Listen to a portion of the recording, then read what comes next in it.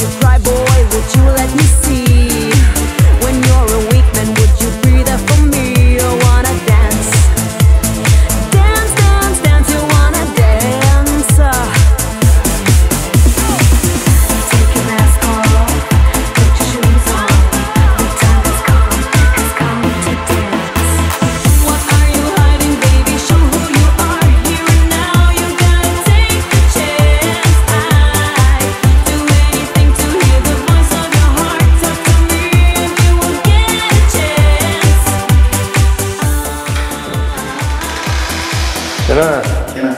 Alejandro.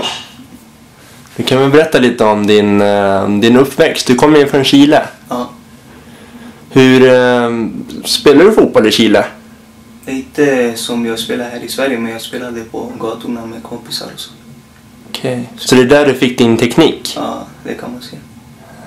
Berätta lite om skillnaden på när du var i Chile och när du flyttade hit till Sverige. För det var för fem år sedan, eller hur? Eh, ungefär lite mer också.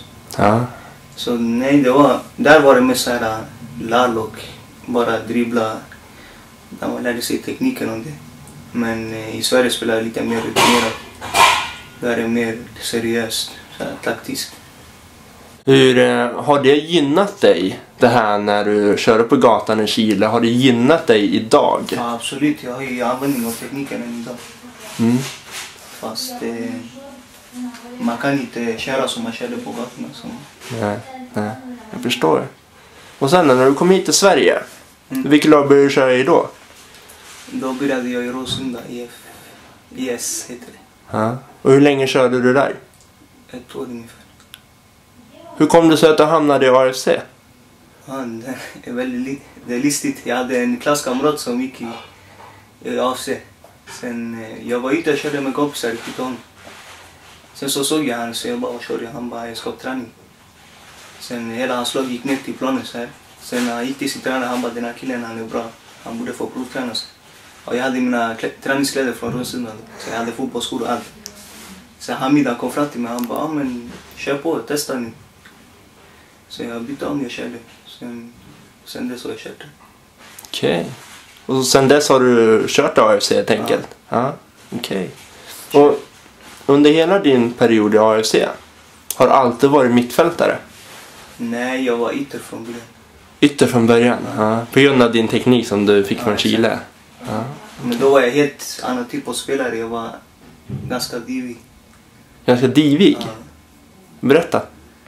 Nej, jag tyckte om att dribbla och så. Jag tyckte inte om att släppa bollen. Vad sa tränarna någonting om det? Ja, det var Amel, han fick mig, och, han fick mig på rätt väg kan man säga. Amel. Han var så här, min första tränare i AFC. Och han skrek på mig hela tiden. Passa bollen, passa bollen.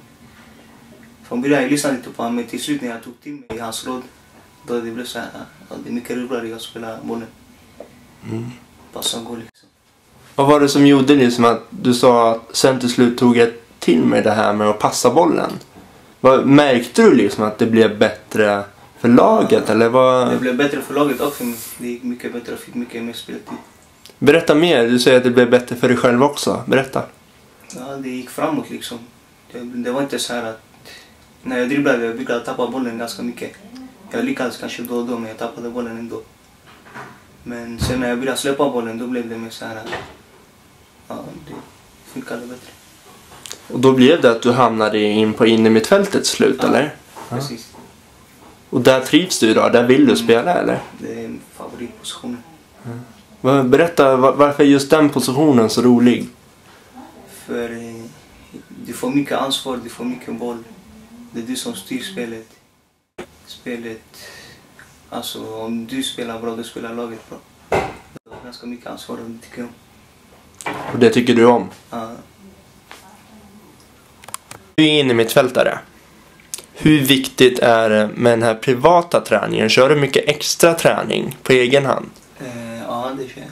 Jag kör lite styrka hemma och på somrarna brukar jag gå ut och träna här borta i IP.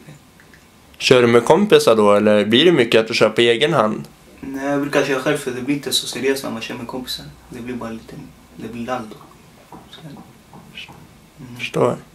Hur... Eh, när du tränar, har du något mål med träningen? Ja. Jag tänker på när du kommer till en lagträning. Är det något speciellt? Har du som något mål att ja, det här ska jag bli bättre på? När jag kör med lagträning då tränar jag bara så jag gör det jag ska. Men när jag ska träna själv då tränar jag på det jag brister på. Till exempel min högerfot. Jag är vänsterfotad så jag måste träna min fel fot. Då kör jag. Ja. Någon speciell spelare som du ser upp till? Eh, Zidane. Zidane? Varför? Jag tycker om hans spelstil och så. Är det, något, är det hans individuella teknik eller? Det är allt alltså. Det är hans finess, hans eleganthet, allt. Okej.